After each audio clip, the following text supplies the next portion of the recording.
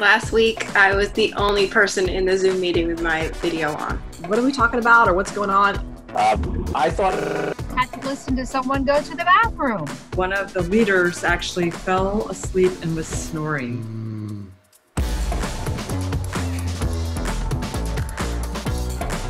The language Zoom burnout has showed up in our lexicon lately, and I think that it actually doesn't exist. I think that what exists is bad Zoom burnout.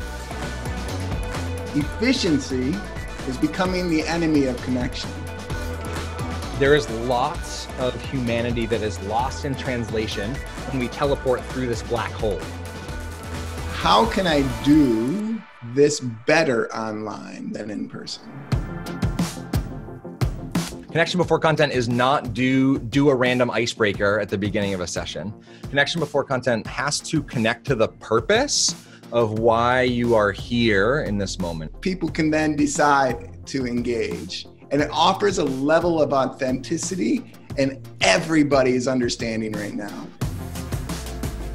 The gift that all being remote has given us is we have an entire context all around us that we can interact and engage with.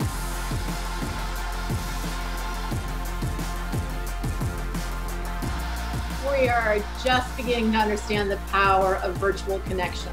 I am energized and ready to go. I'm going to connect with my online participants uh, much more than I have been in the past. I believe we're going to have an amazing day. Next year is going to be so much better. I'm so mad it just happened. Oh.